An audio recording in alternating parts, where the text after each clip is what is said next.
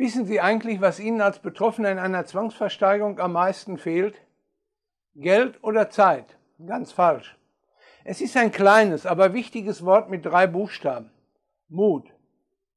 Vor einigen Jahren habe ich einen Anwalt darüber beraten, wie man eine Zwangsversteigerung in die Länge ziehen kann. Er bekam ganz große Augen, denn diese Tricks und Kniffe kannte er noch nicht.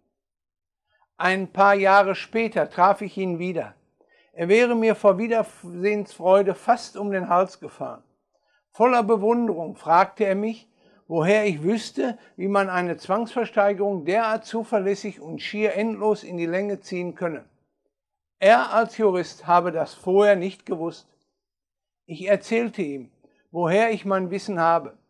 Ich war nämlich mit einem schwerreichen Immobilienbesitzer befreundet, der mich über die Schulter gucken ließ. Er hat reihenweise Projekte aus der Zwangsversteigerung herausgeholt, übrigens seine eigenen. Lassen Sie sich helfen von meinem Ratgeber Rettung in der Zwangsversteigerung. Dieses Buch wird Ihnen Mut machen, den Kampf aufzunehmen. Und am Ende werden Sie der Sieger sein. Schauen Sie auch auf der www.erfolgsonline.de nach weiteren interessanten Neuigkeiten über die Zwangsversteigerung. Gehen Sie Ihren Weg. Bleiben Sie stark. Ihr Wolfgang Rademacher.